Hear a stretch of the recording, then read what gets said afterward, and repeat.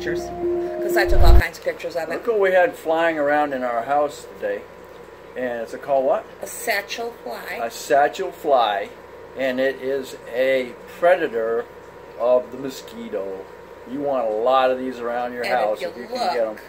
look at its back end. It It's- looks like it I stings, know it's got- doesn't it? It looks like it's got a uh, got the um, dragonfly dragonfly tail on it. I wonder Look if how it's re- beautiful its wings are. I wonder if it's related to it. Look at the look at the design.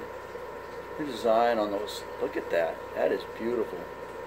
No it kidding. It's it's over two inches long, sitting like that. They've been flying around the house, and I I never messed with them, but I always thought they were very thought they were a large mosquito, but they're not. Oh, he's a satchel fly. A satchel Fly. a satchel fly. That's pretty cool. I took him Awesome. outside, but I can't get him to leave. Yeah. Well, we I get. got him to. He was Well- landed on the wall over there, and I got him to come up on this. He was flying around scared, and then he landed on this. Well, leave he him- won't leave. Leave them in the house because he'll attack your mosquitoes that uh, like to eat you. Well, I don't want to leave him in the house though because He'll fly He back needs out. mosquitoes. Well, yeah, well, it's it's well, mosquitoes aren't going to be out in the cold, right. That's true. So they're not going to come in the house. He needs to be outside where he can get something to eat. All right. Really cool.